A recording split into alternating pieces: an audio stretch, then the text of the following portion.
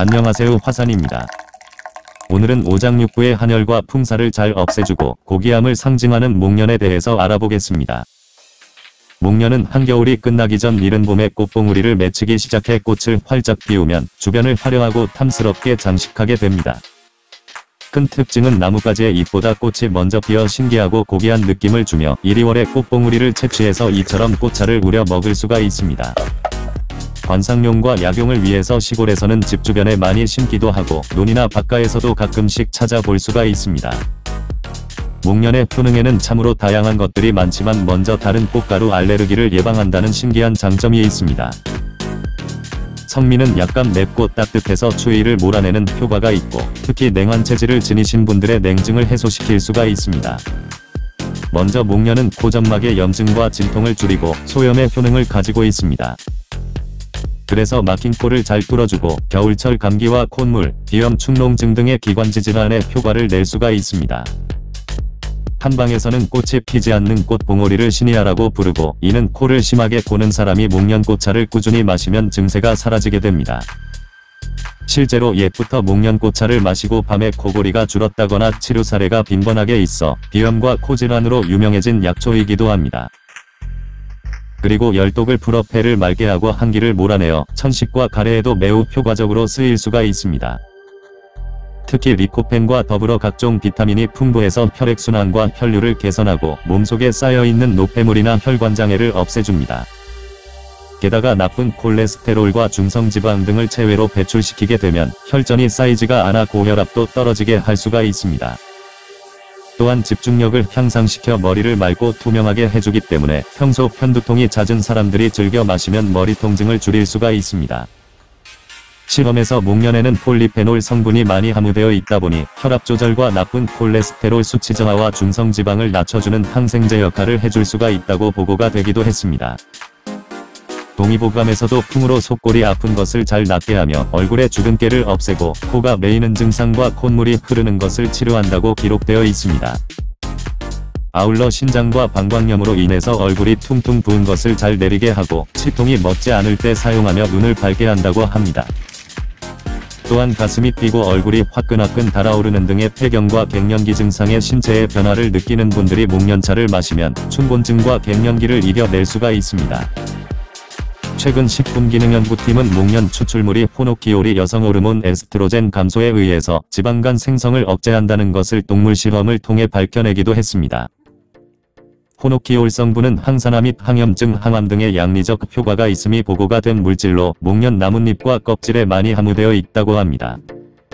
연구팀은 실험용제 에스트로젠 감소를 위해 난소를 절제해 비알코올성 지방간을 유도하고 동시에 호노키올을 첨가한 사료를 10주 동안 실험을 했습니다. 그 결과 간 조직 내 지질 축적이 많이 감소했고 중성지방의 감소로 체중과 혈액 내 총 콜레스테롤이 동시에 떨어지는 것을 확인할 수가 있었습니다.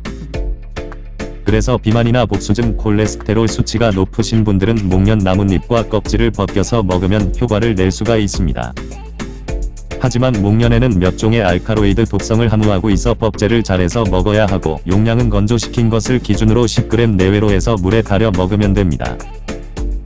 그리고 엘러바마 대학 연구팀이 저널에 밝힌 연구 결과에 의하면 목련 나뭇잎과 껍질 속에 든 호노키올 성분이 두경부암 치료와 예방에 도움이 되고 효과적일 수 있다는 것을 증명을 하기도 했습니다. 이 두경부암은 매년 미국에서만 2만 명 이상의 목숨을 앗아가는 질환으로 새로운 예방과 치료 전략이 요구되고 있는 흔치 않는 희귀병입니다. 참고로 두경부암은 비인두암의 일종이기도 하고 국내에서는 전에 연예인 김우빈이 이 질병에 걸려서 큰 충격을 받기도 했습니다. 비인두암은 코 뒷부분에서 입천장까지 악성 종양이 생겨 발생하는 암을 말합니다. 만약 암세포가 뇌 쪽으로 전이가 될 경우에 뇌신경 마비가 따르게 되고 국내에서는 10만 명 중 1명꼴로 발생하는 아주 심각한 희귀병이기도 합니다.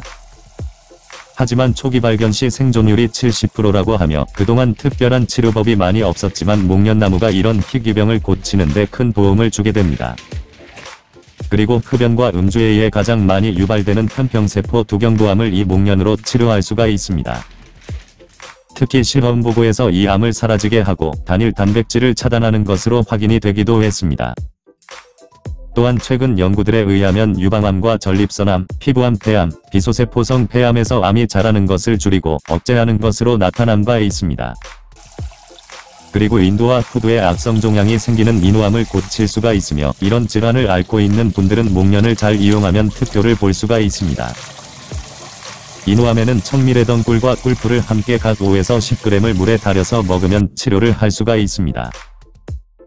또한 암에 따라서는 갈퀴덩굴과 단삼, 청궁, 울금, 감초, 비단풀, 참빗살나무 등을 적절히 배합해서 사용하기도 합니다. 목련은 줄기와 잎 그리고 꽃차를 만들어 먹을 수가 있고 꽃차는 사용하는 시기가 매우 중요합니다. 간혹 목련이 좋다는 사실 하나만으로 꽃차를 만들어 보겠다고 무턱대고 채취해서 차를 만들어 드시는 분들이 많은데 이는 굉장히 위험한 행동이기도 합니다.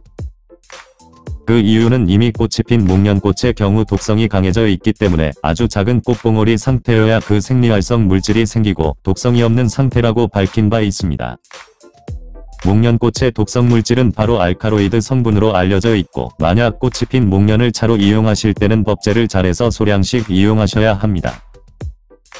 목련은 수분이 많아 꽃봉오리를 채취한 후에는 곰팡이가 잘 생기므로 깨끗이 씻은 후에 바람이 잘 통하는 그늘이나 햇볕에 말리는 것이 매우 중요합니다. 그리고 꽃차는 만들어서 바로 사용하는 것보다는 잘게 빻아서 사용하는 것이 약효를 더 잘 흡수할 수 있는 방법이기도 하니 참고하시길 바랍니다. 차로 응용하실 때는 주전자에 꽃봉오리 5개 정도 넣은 후에 물에 달여서 드시면 됩니다. 하지만 목련은 다른 약초처럼 너무 오랫동안 달이시면 약효가 다 증발하게 되니 최소 20분 내외로 해서 끓이시면 되겠습니다. 만약 꽃이 피는 것을 사용하실 경우에는 잔대나 감초, 대추를 넣어서 사용하시면 어느 정도 해독을 풀 수가 있고 위가 많이 약하신 분들도 먹을 수가 있습니다. 코가 잘 막히거나 비염이 아주 심한 사람은 코로 따뜻한 향을 맡으면서 천천히 마셔야 코 속을 뻥 뚫어주는 효과를 볼 수가 있습니다.